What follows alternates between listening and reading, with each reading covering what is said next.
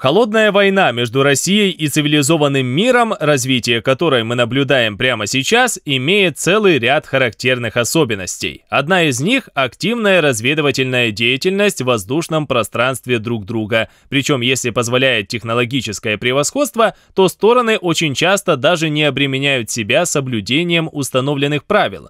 Так было, например, в 1960 году, когда в глубине СССР был сбит американский разведчик Ю-2, а его пилот Фрэнсис Пауэрс попал в плен. И таких случаев было немало, причем всегда в роли догоняющего выступал Советский Союз. Похожая история повторяется, правда уже на новом технологическом уровне. Речь идет прежде всего о полетах американских разведывательных дронов RQ-4 Global Hawk над Черным морем в непосредственной близости от аннексированного России Крыма, причем очень часто прямо над полуостровом. Впервые о таких полетах россияне заговорили в апреле 2015 года, когда тогдашний заместитель начальника Генерального штаба Вооруженных сил РФ генерал-лейтенант Андрей Картополов выступил с гневной речью, в которой пригрозил сбивать вражеские аппараты, которые появляются в непосредственной близости от Крыма. Интересно, что Картополов с декабря 2016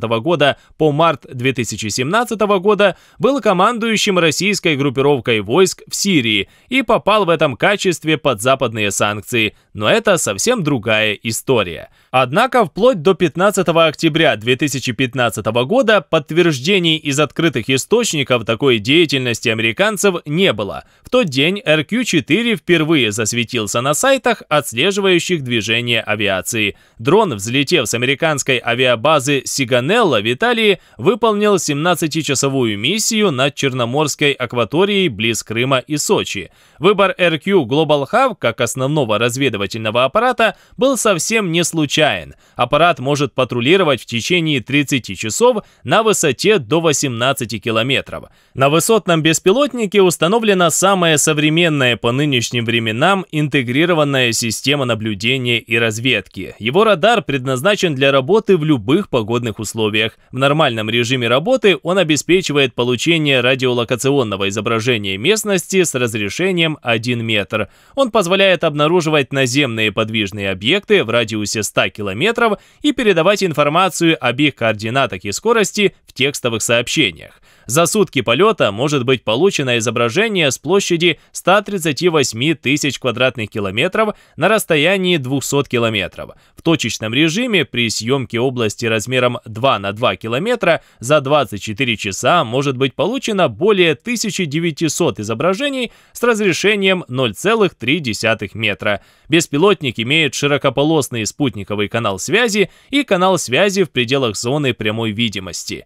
Можно говорить о том, что с весны 2015 года вылеты таких аппаратов стали совершаться стабильно. Причем кроме Крыма и северокавказского побережья РФ в прицел американцев все чаще стали попадать и оккупированные Москвой районы Донецкой и Луганской областей. Зачастую полеты были комбинированные. После линии разграничения на Донбассе аппарат уходил на Севастополь, спокойно двигаясь на высоте свыше 16 километров в международном воздушном пространстве. При этом американские военные демонстративно включают приемники, позволяющие любому желающему увидеть их на веб-сайтах, чтобы все знали, что они там есть. Полную хронологию таких полетов привести достаточно сложно, так как американцы практикуют и полеты с выключенными транспондерами, что, конечно, не является проблемой для армейских РЛС, однако не позволяет отслеживать в режиме онлайн. Так только за 2017 год по открытым источникам можно отследить 17 полетов Global Hawk над Донбассом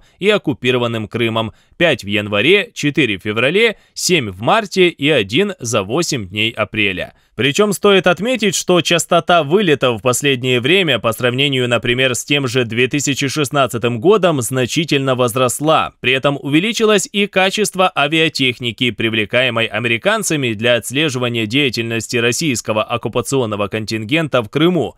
Так над Черным морем появились такие высокотехнологичные аппараты, как противолодочные самолеты P-8A «Посейдон» и самолеты радиоэлектронной борьбы EP-3E «Aries II». Ил-2. В связке эти машины представляют собой убойную смесь. Тот же EP-3E способен в режиме почти реального времени перехватывать все каналы связи, в том числе и засекреченные. Одно из назначений разведчика – выявление систем противовоздушной обороны, особенно если противник применяет ее против самого разведчика. А основное назначение Посейдонов – поиск и уничтожение подводных лодок, противокорабельные операции и визуальная и радиоэлектронная разведка. У самолета есть электронно-оптическая и тепловизионная станции, современный радар для картографирования местности, он может распознавать магнитные аномалии. Причем очень часто эти машины стали работать вместе с беспилотными машинами, а полеты парами уже реальность, что наводит на мысль, что они отрабатывают какие-то совместные операции. Судя по маршруту, флотскую аэроразведку США интересуют военные порты Крыма, Керченский пролив и газоносные районы Черного моря, где расположены захваченные РФ украинские газовые вышки. И самое интересное – это реакция российских воздушно-космических сил. На сегодня неизвестно ни одного случая удачного перехвата дрона, хотя на той же Балтике российские летчики активно перехватывают все, что летает. Но в случае с крымскими полетами тут сказывается один момент, и он технический. Дело в том, что дрон RQ-4 летает на высоте 18 километров, в то время как практический потолок вылетающих на их перехват Су-30 из Крымска или Бельбека 17,3 километра, то есть на 700 метров меньше. Попутно отметим, что практический потолок летательного аппарата – это максимальная высота реального применения самолета. Фактически эта цифра значительно меньше и зависит от многих факторов, как от погоды, так и, например, от изношенности двигателей самолета. В данном случае существенная разница в этой характеристике позволяет RQ-4 не беспокоиться о российских перехватчиках. Фактически российские летчики физически не могут достать бесчеловечного противника. А сбивать системами ПВО, та же С-400, которая базируется в Крыму, вполне может поражать цели на такой высоте, это значит пойти в открытую на прямое военное противостояние. Причем в условиях, когда Запад не признает российскую принадлежность полуострова Крыма, а значит и воздушного пространства над ним. Ни для кого не секрет, что по международным законам это Украина. Таким образом, в очередной раз Россия оказалась в тупике. Технологических возможностей, чтобы прекратить такие полеты, у страны просто нет, поэтому остается только одно – замалчивать такие полеты для внутреннего потребителя информации с ТВ-экрана.